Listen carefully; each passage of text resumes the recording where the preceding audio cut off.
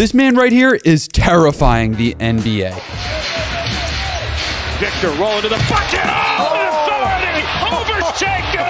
Count the basket and the foul. This is Victor Wembanyama, and if you didn't know, he's one of the tallest players in league history. Guys like him should be hanging out in the paint, waiting for his teammates to lob him the ball, or just getting out of the way of the real hoopers. Oh, crossover, pull up, But on this play in the home opener of the 2024 NBA season, Wemby is initiating the Spurs offense, almost like he's the franchise point guard. Victor catches the ball near half court, creates a little bit of space, sees his defender Dillon Brooks drop beneath the drag screen, and pulls up for a logo three. Oh, heading for the parking lot. Cash. This is absurd. Since when do 7 foot 4 centers shoot logo threes like they're Steph Curry? Are we witnessing the future of the NBA right now? How good can Victor Wembanyama be this year actually?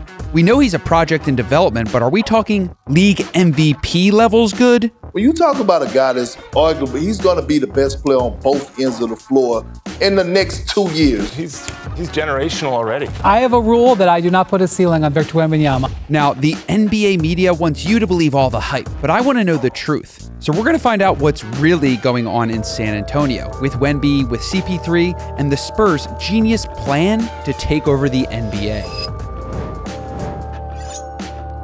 Let's be honest. Last year, the Spurs plan with Victor Wembanyama really didn't make any sense. Coach Popovich ran all these weird lineups, put Wemby in all sorts of crazy roles and positions, and it seemed like he refused to run a simple pick and roll on the offensive end. Spurs fans were pulling their hair out just trying to watch the game. And because of all this change, Victor got off to a slow start, averaging only 19 points and 10 rebounds in his first 20 games. Do you remember the media at the time? There was a lot of harsh criticism of Victor. He's too skinny, he's inconsistent, or Shaq constantly comparing Victor to Bol Bol. We're going down that road again.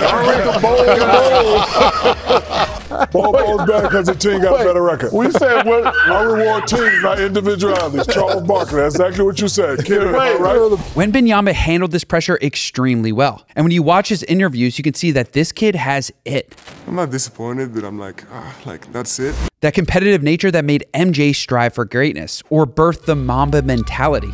Here's Wembanyama answering a question about what surprised him or what he knew he had over everyone else in the NBA now. Gotta be the the competitiveness, you know, like uh it's sometimes hard to realize this is already the highest level basketball, apart from playoffs, obviously.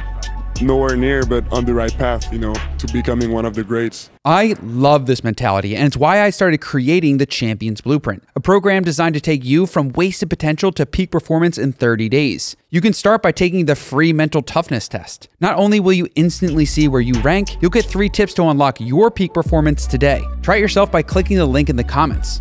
So post All-Star break, the Spurs adjusted their strategy. They paired Wembanyama with a more traditional point guard in Tre Jones. Victor finished the season averaging 21 points, 10 rebounds, 3 assists, and 3 blocks, winning Rookie of the Year and finishing second for Defensive Player of the Year. Plus, the Spurs outscored their opponents by 5.2 points per 100 possessions when Wembanyama and Jones shared the floor. Having a true point guard around Victor changed everything, and suddenly the Spurs had their blueprint for success. Jones, Wembanyama on the move. So, in the offseason, the Spurs signed one of the best traditional point guards of all time, Chris Paul. Rightfully so. 12-time All-Star Chris Paul joining the reigning Rookie of the Year Victor Wembanyama in San Antonio. Now, we all know CP3 has a history of making players around him much better. Whether it was when he was taking the Hornets to the playoffs for the first time in years,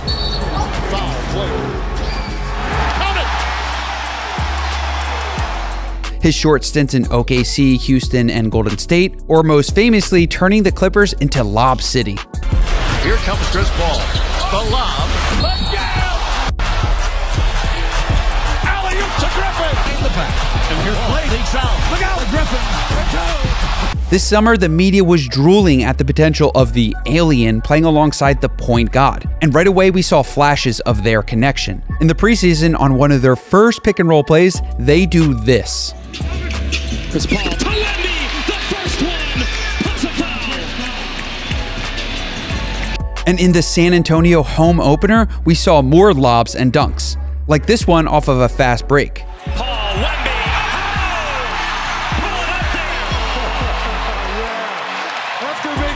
Oh! Or this one here in a traditional 1 5 pick and roll.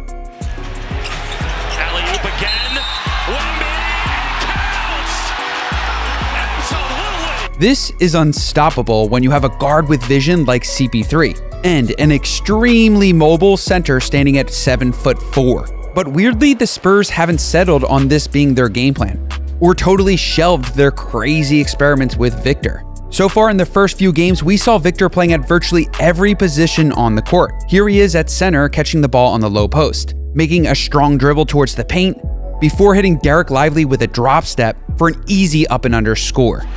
Two terrific young players and scooping it home is Wembanyama. Here he is playing point guard, taking Klay Thompson to the right, only to stop on a dime and hit a smooth fadeaway jumper. Klay can only throw his hands up in the air after a shot like that. Then in the next game, we see him go off with hezzy three pointers. Logo threes, crafty layups, dunks, you name it. My favorite were these back to back buckets from the top of the key. Not because they look nice, but because they are simple and impossible to guard. Of the game last night against the Grizzlies. Wemby put people in blenders. Yes, sir. Players like Joel Embiid have made a living catching the ball at the free throw line, and I think this could be a huge unlock for Victor's offensive game in the future.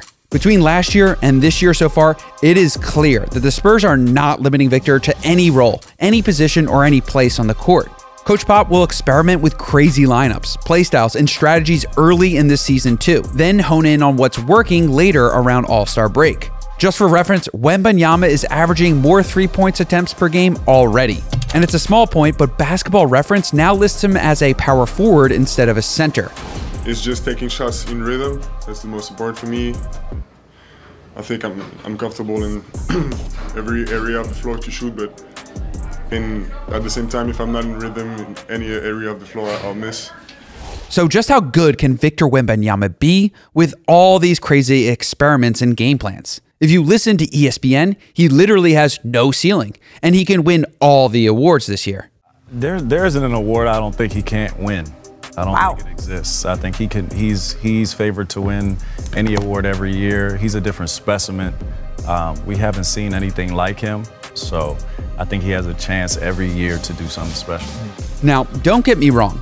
Victor's rookie year was truly incredible, but it's not the best we've ever seen. Michael Jordan, Shaquille O'Neal, and Kareem all had better rookie seasons. And in their sophomore year, each of one of these NBA greats took another step. We are waiting to see if Victor can do the same. Can he increase his scoring, his efficiency, and most importantly, help his team win? Before Wembanyama joined the Spurs, their record was 22 and 60. And after Victor and his incredible rookie campaign, they went 22 and 60.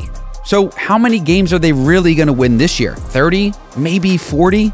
Individually speaking, Basketball Reference projects Victor to average 26 points per game, 12 rebounds, and 4 blocks. Those are easily NBA All Star numbers. So, we're looking at Wemby's first All Star team selection. But here's the kicker ESPN forgets to mention Victor Wembanyama does have a ceiling. It's Gregg Popovich. I talked about this briefly in my Joel Embiid video. The Spurs are masters of load management. They simply won't allow Victor to average more than 30 minutes per game, let alone 35 or 36. And those numbers from basketball reference, they're estimates based on per 36 minute averages. So, what does that mean for MVP? No chance. To win MVP, the Spurs would have to be a top team in the West. And the Western Conference is stacked with talent, and there's no shame in saying it. The Spurs aren't a contender yet. And Wembanyama, personally, is a few years from MVP caliber seasons. You just gotta look at the previous award winners like Giannis, Embiid, and Jokic. But this is where I think things get interesting. Looking at all the potential in the Spurs' future. Victor's insane highlights, his alien workout routines, and his quote unquote passive weight gain have sort of blinded us to some of the huge developments in the Spurs organization,